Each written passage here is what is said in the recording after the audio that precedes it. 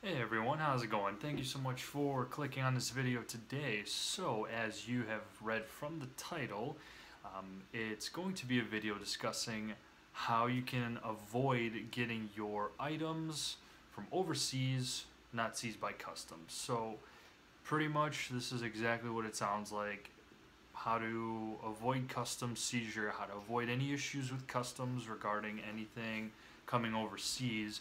Um, if you are just kind of clicking on this, you know, just into the blue, basically what I do is I do a lot of different types of airsoft videos and of course with a lot of my airsoft products I order from overseas. I am in the United States so with the custom laws they're a little bit more strict.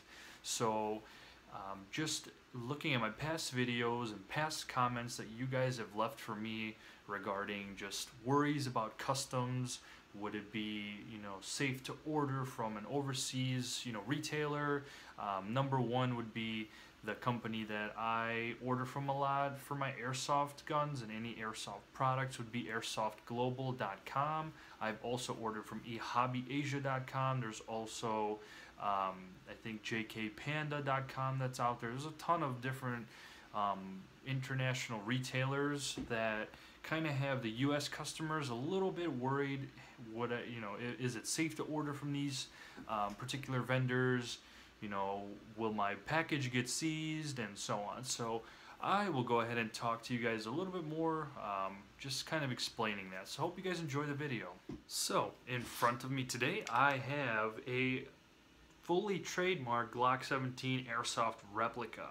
So of course with this it needs to be ordered pretty much overseas to get any type of realistic trademark like this um, on a Glock pistol. So here's the main reason why Glock is so kind of screwy in a sense in terms of the airsoft just world there is, you know, just to sum this up short, I have other videos explaining this. There is a lawsuit with Glock and airsoft companies making Glock replicas. Glock is basically saying, no, don't make our pistols into airsoft replicas. We don't want anything to do with airsoft. That's it. You know, plain and simple. But of course, a lot of retailers and manufacturers, like WeTech would be one for example, they still continue to churn out models from China or Hong Kong, um, wherever they make these, and it's you know it's still flooding the market, but in a sense they order it from overseas and they come into the U.S. because in the U.S.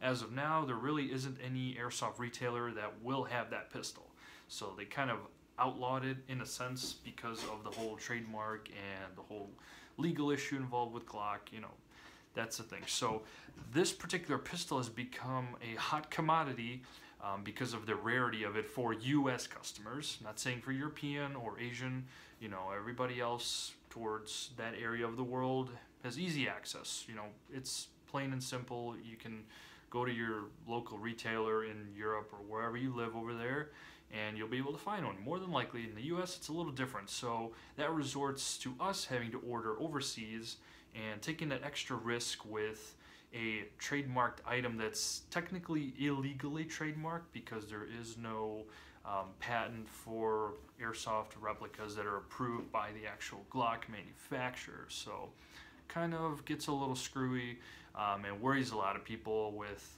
should I order, you know, from Airsoft Global? Should I order from eHobby Asia? Whatever. Um, so I will kind of talk to you um, reasons why something would get seized. I just did some brief research because I kind of, you know, have an idea of how things can work. You know, I work for a logistics company and in a sense I kind of understand certain procedures that go with items going over the border. So, you know, whether it's something going to Mexico or to Canada um, or overseas on the barge or via airplane, whatever. Um, everything has its own way and special procedure of getting it shipped. So the main reason uh, for something to get stopped at customs is if the packaging itself, first off, is some kind of damage or some kind of just, you know, oddity to it, something that kind of throws the, the person sifting through the pile there off a little bit. um, you know, then it kind of starts gathering some attention.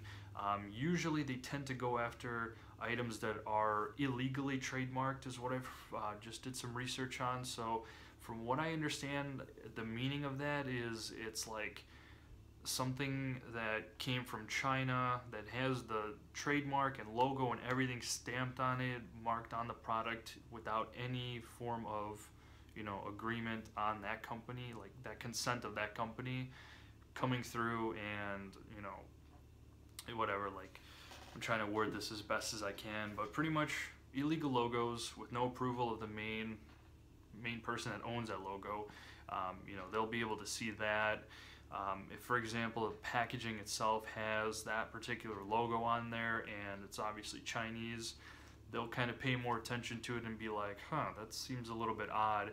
And they actually do have the ability to cut open your package to do just a quick examination of the contents and then close it back up. Um, they'll usually reseal it with a certain tape that'll say uh, checked by customs, which I've, I've had other products, not necessarily airsoft related, but I've had products like that um, that would come back to me that you know had that tape that it was checked by customs, you know whatever, no big deal for me. Um, but for a lot of you, it's a huge deal because you're kind of not sure. Um, there's again many ways to kind of bypass this, which I'll touch into a little bit more.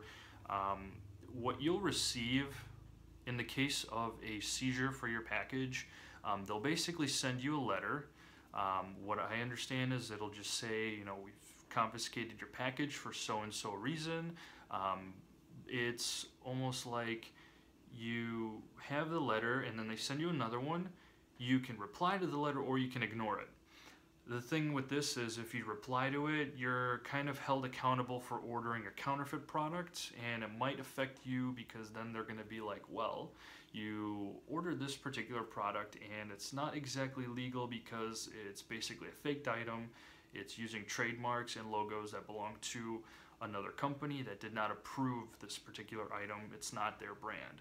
On the other hand, if you ignore the letter and just never get back to them with anything, um, they'll usually hold it at their facility for about a month or so, 30 days, and then from there they'll just field destroy it. They'll burn it in a in a kiln or they'll do something with it. They'll probably keep it and sell it. I don't know.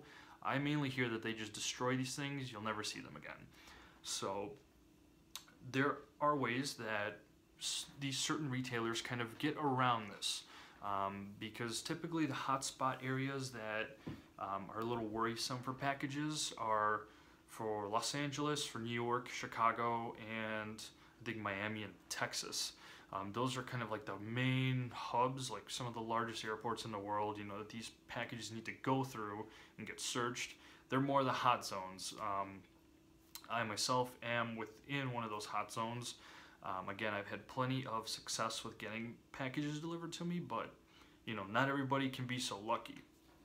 Here's the ways to get around this. You, depending on which website you order, you can double check to see what their shipping FAQs are. So a lot of international websites will have this. Um, for example, Airsoft Global actually does. They have a special handling section where if you click on that, they actually have about maybe 12 or 15 different um, methods you can select regarding, you know, if, for example, you're ordering a Glock replica airsoft pistol, you can have it shipped in two packages, like two segments. They will literally just break the pistol in half. The mag in here, help if I took that out. In two parts like this, ship this in one, ship this in the other, which actually the best part of this is they won't put any orange tip on it. They won't spray paint it or put anything because it is not a complete gun since it's in two separate packages. So that is a perk to this, except for this particular website, they do charge a small fee, about $25 to pretty much do this service. So in the end, you're paying for the product, the shipping, and then that extra special handling. Um, that's an option for if you're very worrisome and you kind of you're you're in those hot zones and you're not sure of what's going to happen if you're first time you know first time ordering um, I would recommend this option. I definitely did when I ordered from eHobby Asia. I pretty much made sure that they covered every little bit of the gun. They shipped it, you know, however way possible to just minimize the seizure of the package itself. Um, So that's an option. Um, there also is another option when you check out. So just you pick your, you know, your product, you check it out, you go through all the steps. There will be a box that will say special instructions. So typically any website you order will have this option. It's a box, you could type in whatever you want. You can say, you know, just have this wrapped a special way or you can, you know, you can kind of put something in there. They will kind of accommodate that and proceed forward. So you can put in there just for them to double check because they'll be able to see it when they print the manifest with your item on there. Um, you can have them make sure that they cover all logos, make sure orange tips are where they need to be since if it's coming to the US um, and you know just minimize risk of custom seizure. You can put that in there in caps if you want. They'll do it on their end. Typically when you buy these Glock replicas what they will do automatically you don't even need to tell them to do this they'll do it because they know the strict laws of these pistols and the US so they already know they already have a special procedure to do so they will cover all of this with electrical tape. Any little marking that would have any Glock anything on there, they would cover those up with electrical tape. So again, it's not showing trademarks. It's pretty much blank. So they can't really, they have no reason to confiscate anything because it's just a blank slate. No logos are being used. That's it. Um, another thing to note as well is uh, so another thing they'll typically like to do on the outside of the package when you have the main label with your address, on the bottom for the item description, they like to get a little creative sometimes. For example, if you've seen my previous unboxing video of Airsoft Global Glocks, um, you'll see that in the description they will actually write like toy car parts or like Legos or puzzle pieces, something to just throw people off, throw the customs agents off completely from what's inside the box. And then once they read that, they could just turn a blind eye, throw it on the conveyor, and bam, it's going to be on the USPS truck to your door in a week or, or a couple days, whatever. Um, they like to do that. Um, also, what they like to do, and I really like this, that they go kind of above and beyond to really make sure nothing happens with, you know, a seizure um, is they like to fold all their boxes inside out. So typically any airsoft gun um, will have a nice box, will have you know beautiful like imagery of it and everything. Um, they will tend to fold that in so you just see the brown. It's brown all around and you know there's no indication of any kind of pistol or anything on there. Um, they also like to do that um, to make sure that nothing gets seized. And one last thing I'd like to add is for making an international purchase, and I 100% think that you need to do this because if you don't, it'll just cause you issues in case anything does happen. Use PayPal as the just specific payment method. I, there's multiple reasons for this because PayPal again is very secure it's a very great company. I use them all the time when I make any purchases international. This should be for anything international you buy, use PayPal because they will save you just in case if something happens and your money is on the line because you didn't get the product, you didn't get your money back. They will go out to um, that company you ordered from and they will get your money back. And you know it's called filing a dispute um, which you know hopefully you won't have to deal with something like that. But again, if you do, they will help you. They'll take care of you. They'll do their very best to get you your money back. Because sometimes with the money involved with these, including the shipping, it's very costly. Um, it is going to be expensive to ship over to the U.S. So on top of the product and then the shipping, it adds up to a lot of money. So you know PayPal will definitely help secure your transaction, which is what you want because it's an investment. You know, with an investment, there's always risk, but there always has to be a way to kind of save your ass, so to speak. Um, but that's really it. That's kind of, you know, the it's it's it's kind of simple in a sense to understand why they would do this. You know, it's for protection. It's very understandable. There's a lot of counterfeit products. The U.S. really doesn't want to deal with that kind of stuff. Anything foreign, really, they don't like. Period. Um, they'll name every excuse in the book to just flag it as crap and burn it in the furnace or whatever. Um, but this is mainly a video just explaining how you can avoid this in general and you know minimize the risk of getting anything um, seized by customs. In the end, 90% of the work is going to be on the uh, the vendor you're purchasing from. They're going to have to be the ones to really understand the U.S. laws and kind of how to bypass them a little bit just by doing these little things I, I mentioned here and there. Um, but for the most part, that's everything I really wanted to share with you guys as this is a huge question I get on a lot of my videos lately with, you know, I don't want to get my stuff seized, you know, how do I get around it? This is basically the best way. Um, and if anything, reach out to the customer service on some of these places because they will literally tell you. I've worked with a lot of them and they're very friendly, very informative, and it kind of makes me breathe a sigh of relief hearing hearing these kind of things. So hopefully this is going to be your sigh of relief, you know, just to kind of rest easy about it. You know, don't worry so much about something will get seized. You just got to take these proper steps. You know, with any type of purchase, take your time. Don't rush it to get it done. Make sure you read the fine print, read everything. That's the important thing.